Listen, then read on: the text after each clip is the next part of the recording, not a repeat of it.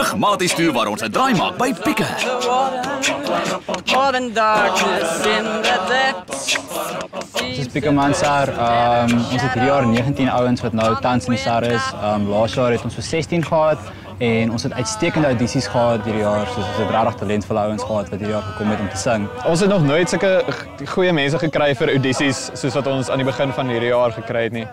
Ehm um, so dit was regtig vir ons moeilik om mense te kies om in die groep te sit en ons het regtig baie goeie klomp ouens. Ons is seker so 17 ouens wat uh, elke nou en dan bymekaar kom en ons het uh, baie gees tussen die klomp van ons en ons almal is baie um, uh, soos passievol oor musiek en uh, en uh, ek dink ons kom goed oor die weg en uh, ja, dis net lekker om te sing.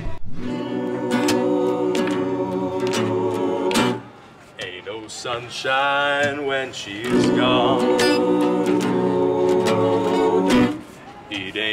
Warm when she's away.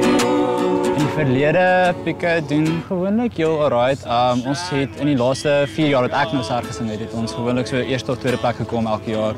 Um, dit wissel maar so tussen ons en Hippokrates wat ook hier op kampus is. Ek sal sê ons grootste kompetisie is eintlik die vorige jaar se serre want as jy kyk nou na op kampus standaarde mense kan nie sê wat die ander groepe gaan doen nie so vir my voel dit laas jaar 2010 se Piekeman Ser 2009 se Piekeman Ser is ons grootste kompetisie vir die jaar um, ons moet op ons standaarde verbeter so Ons grootste ons grootste ondersteuners sou ek sê is die dames uh, van Stellenbosch kampus. No sunshine when she's gone. Uh die dame lyk nie oortuig nie. Only darkness every day. Yeah. There ain't no sunshine when she's gone. This house just ain't no home. Every time she goes away. Kom ons kyk hoe gaan dit met die groep dames.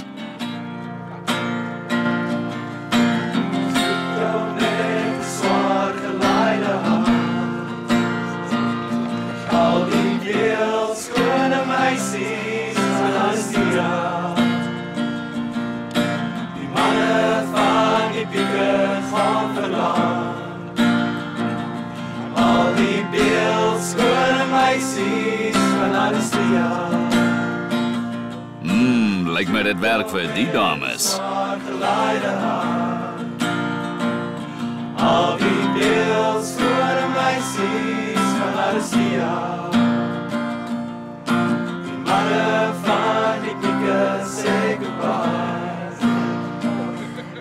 Die die beeld voor de meisjes van Aristia.